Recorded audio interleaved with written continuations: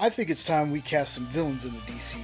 First up, Brainiac. Mainly a Superman villain, he first appeared in Action Comics number 242 in July of 1958. Now we've seen him on TV, but it's time for a big screen debut, and I'm choosing Scott Adkins. Next up, Thal Sinestro. Sinestro first appeared in Green Lantern Volume 2 number 7 in August of 1961 and was played in the Green Lantern movie to perfection by Mark Strong, but I think Luke Evans would be a great recast. Finally, Zsasz. Victor Zsasz is a Batman villain who first appeared in Batman Shadow of the Bat number 1 in June of 1992, and the only thing crazier than Zsasz is my pick of Michael Rosenbaum to portray him in the DCU.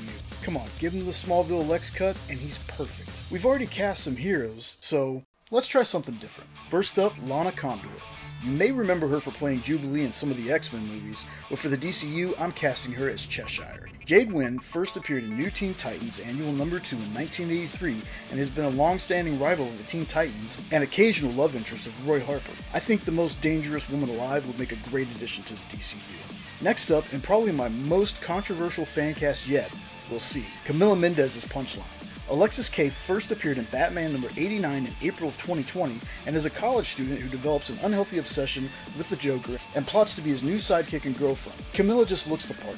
And I know, to a lot of folks, she's just a Harley ripoff, but she feels different to me, and the thought of a James Gunn punchline v Harley in the future excites me. Usually for these fan casts, I show the character, then the actor, but I thought it's time to cast some more villains in the DCU. First up, the Riddler.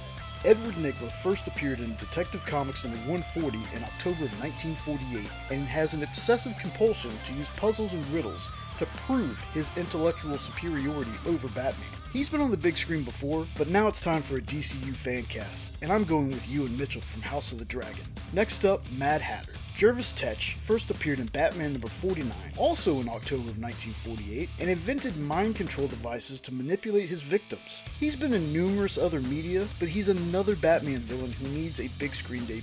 It's a long shot, but I picked Bill Skarsgård for this one. I hope you're all enjoying this series because casting more villains in the DCU, Samara Weaving. I know, everyone's been saying Catwoman, but I'm going against the grain and casting her as Poison Ivy.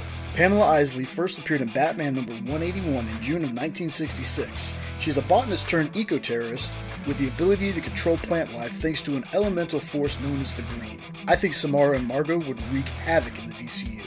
Next up, Janelle Monáe as the Gardener.